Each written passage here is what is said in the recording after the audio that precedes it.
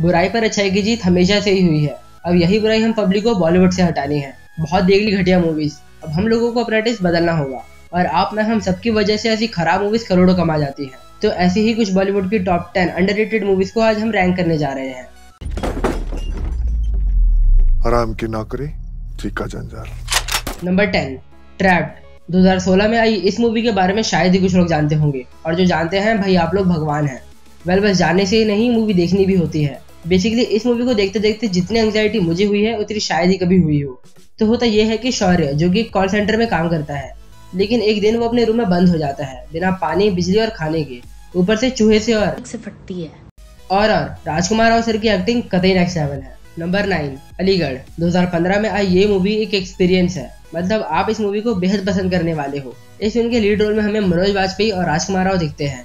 जहाँ मनोज वाजपेयी जी ने रामचंद्र सीरस जी का रोल प्ले किया है, जो कि अलीगढ़ यूनिवर्सिटी में एक प्रोफेसर होते हैं। लेकिन कुछ इवेंट्स के चलते इनकी लाइफ बिल्कुल चेंज हो जाती है। ये मूवी हमें दिखा देती है कि कैसे एल कम्युनिटी चीज़ों को फेस कर रही है और कितना भेदभाव है उन्हें लेके। लेकिन मनोज वाजपेयी सर की परफॉर्मेंस इस मूवी में बेहद ज़बरदस्त है। नंबर एट आँखों देखी। 2014 में आई ये मूवी काफ़ी अंडररेटेड है और काफ़ी अच्छी भी।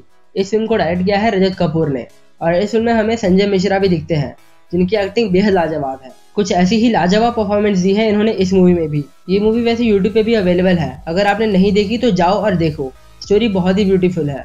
होता यह है कि राजेश बाबू जी जो कि अपने लेट फिफ्टीज में होते हैं और एक नॉर्मल लाइफ जी रहे होते हैं, लेकिन कुछ इवेंट्स के चलते इनकी लाइफ बिल्कुल चेंज हो जाती है और वो ठान लेते हैं कि वो उसी चीज़ पर बिलीव करेंगे जो देखेंगे। नंबर सेवन कड़वी हवा।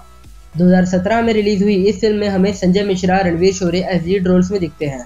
और दोनों ही बेहद अंडररेटेड और ज़बरदस्त एक्टर्स हैं। बेसिकली ये मूवी बेस्ड है क्लाइमेट चेंज के थीम पर।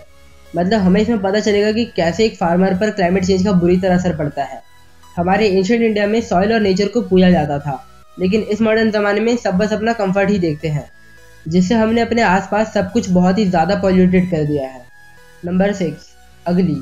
2013 में आई इस मूवी को डायरेक्ट किया है अनुराग कश्यप ने, और जहाँ ये नाम आ जाता है, लोगों को खुद पता चल जाता है कि मूवी में क्या दिखने वाला है। और ये मूवी एक अलग ही लेवल की थ्रिलर फ़िल्म है। तो होता यह है कि एक लड़की किडनैप हो जाती है। फिर लग जाते हैं सब पुलिस वाले इस केस को सॉल्व करने में। लेकिन सिर्फ़ इतना ही नहीं, अभी बहुत लोग इस मूवी में जो इस किडनैपिंग का फ़ायदा भी उठाते हैं। प्लस अनुराग कश्यप ने इस मूवी के ज़रिए हमें काफ़ी कुछ दिखाया है कि कैसे इंडिया का पुलिस सिस्टम काम करता है और कैसे ये दुनिया कितनी मतलबी है। नंबर फाइव सोन चिड़िया।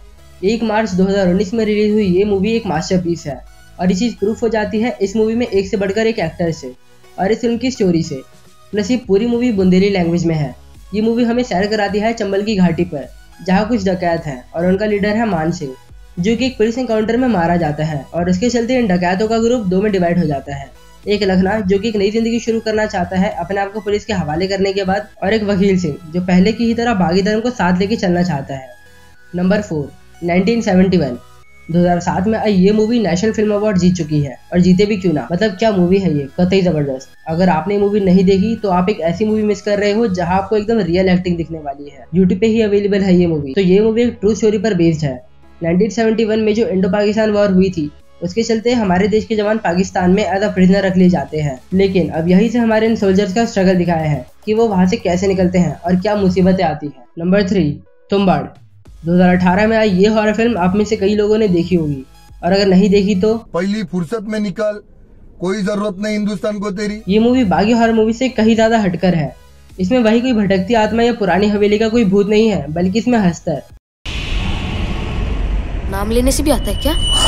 और ये फ़िल्म हमें एक सीख भी देके जाती है कि लालच बुरी वाला है। नंबर टू मसान। 2015 में आई ये मूवी बहुत ही अच्छा मैसेज देके जाती है कि कभी भी हार मत मानो। चाहे कैसी भी सिचुएशन क्यों ना हो, इस मूवी में हमें दो अलग स्टोरी दिखती है। एक देवी पाठक की, जिन्हें ब्लैकमेल किया जा रहा है, और एक दीपक कुमार की, जो कि एक लोअर कास्ट के हैं और उन्हें एक हाई कास्ट की लड़की से प्यार हो जाता है। अब इस मूवी की जो स्टोरी है, वो नेक्स्ट लेवल की है। साथ ही साथ, इस मूवी में जितने भी एक्टर्स हैं, सब एक से बढ़कर एक है। प्लस जो लोकेशन ली है वाराणसी की, हमें एक अलग ही सर पर ले जाती है। नंबर वन पान सिंह तोमर। 2012 में आई ये मूवी एक बायोग्राफी है एक एथलीट की, जो कि एक सोल्जर भी होते हैं इंडियन आर्मी में। प्लस उन्होंने गोल्ड मेडल भी जीता होता है इंडियन नेशनल गेम्स में, लेकिन इतने कुछ के बाद भी उन्हें फोर्स किया जाता है एक डकैत बनने के लिए। इस मूवी में इरफान सर ने क्या ही एक्टिंग की है? मतलब क्या ही बोलूँ मैं? इरफान सर की हर एक मूवी में परफॉर्मेंस ज़बरदस्त रहती थी। लेकिन मैं बात करूँ इस मूवी में इनकी परफॉर्मेंस के बारे में तो इन्होंने इस फ़िल्म को नेक्स्ट लेवल पर पहुँचाया है। बीहड़ में बागी होते हैं। डकैत मिलते हैं पार्लियामेंट में।